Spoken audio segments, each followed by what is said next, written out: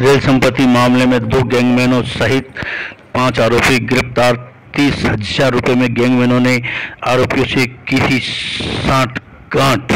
Sub inspector Anoop Kumar railway सुरक्षा बल RPF police ने 10 मई को रेल संपत्ति चोरी मामले में सुनील चंदेल व राहुल गुजर मार, निवासी मारवाड़ जंक्शन को गिरफ़्तार किया जिसमें दोनों आरोपियों ने अपना जुर्म स्वीकार किया जिस पर 11 मई को कोर्ट में पेश के दौरान दो दिन का रिमांड मिला। इस दौरान पूछताछ करने पर प्रदीप मीणा के नाम का खुलासा हुआ। वारदात के दौरान प्रदीप मीणा फरार चल रहा था आरपीएफ पुलिस की तलाश कर रही थी। इस प्रकरण को मंडल सुरक्षा आयुक्त ने ओम प्रकाश बैरवा इंस्पेक्टर को जाँच सौंपी गई, जिस पर ओम प्रकाश बैरवा इंस्पेक्टर ने ने टीम गठित कर तीन दिन के प्रयास के बाद प्रदीप मीणा को उसके ही खेत से गिरफ़्तार किया।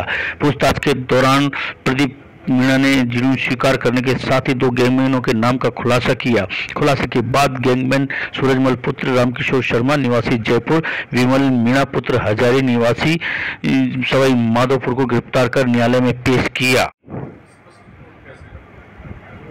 स्पेशल रिपोर्ट केस है?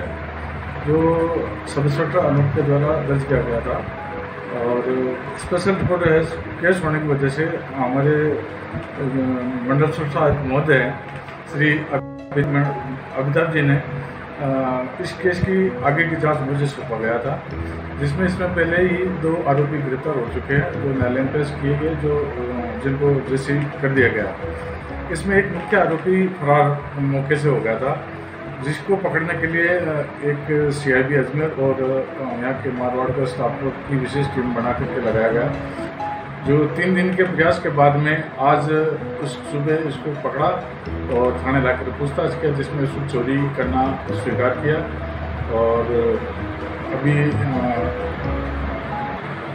इसमें जाँच और बाकी है। हो सकता है और भी कोई उन्होंने मिले या सामने मिले तो उसके भी प्रयास जारी है। इसको कल दिनांक को न्यायालय में पेश करके रिमांड पर लिया जाएगा।